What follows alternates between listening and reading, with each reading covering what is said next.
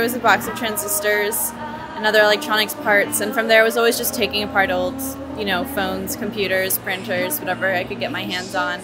And then I would take my hot glue gun and just whatever garbage and random pieces from around the house and piece together my first inventions, which didn't work, but it was kind of just the idea of creation that was so exciting to me. Um, so basically, I'm half Filipino, and one of my friends in the Philippines, she wrote to me one day and she told me that she had failed her grade in school because she couldn't afford electricity, so she had no light to study with at night.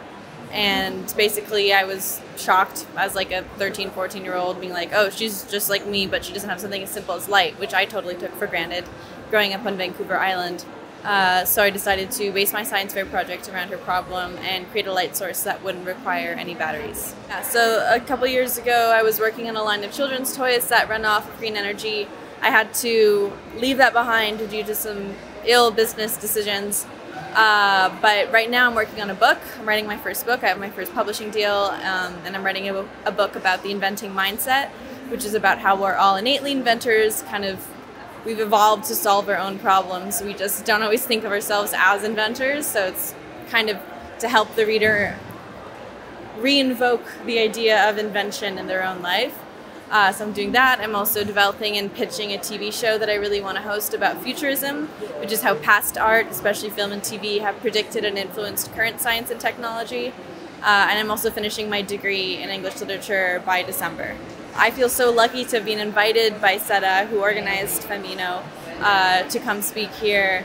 Um, it's truly just phenomenal that she's bringing together so many young women from around Armenia and around the world uh, together to really inspire innovation and leadership amongst them.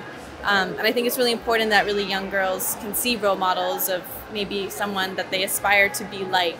Uh, so FemInno is a great place for that and for networking as well. Um, if you are a lady that is into STEAM, which is science, technology, engineering, arts, and math, I think FemInno will bring together so many young women with like interests in science um, and make them realize that they're not alone, that there's other cool girls working on technology and science. Uh, and hopefully it'll also help break down stereotypes um, of women in science because typically we only see images of them, you know, on screen and film and TV, like The Big Bang Theory. So to have bring together real young women that are into science and show them as real, amazing, normal human beings. I think that's just a wonderful gift that SETA has given us. Uh, I've been really impressed with what I have seen of Armenia so far. I mean, I've only been here a couple days, but uh, they brought us around to the Tumo area for children and teenagers and truly i was like wow i wish i had this like after school program as a kid because i would have loved it. Uh, it was so i was so impressed and the rest of the speakers that toured with me we were all so blown away by what tumo had put together for these teenagers and they were all so excited about technology and science and coding and music and everything so that was really inspiring. We also got to see i believe the philip morris institute for research and development um, and that was also really incredible to see the resources that they've made available for young entrepreneurs and scientists that want to conduct research or studies and don't necessarily have the resources to do so on their own. Um, so yeah, I'm really impressed by everything that's coming out of Armenia and I'm really also excited that a lot of young people that I've met here want to stay in Armenia uh, and make it an even greater country. So I'm excited for all of that.